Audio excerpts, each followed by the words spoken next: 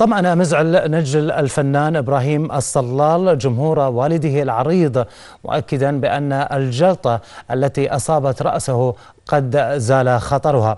وفي تصريح للرأي الإلكترونية أكد أن والده سيمكث في المستشفى حتى يخضع لمزيد من الفحوصات التي أقرها الأطباء للإطمئنان على حالته. وشكر الصلال أهل الكويت على تفاعلهم الكبير وسؤالهم المستمر عن حالة والده.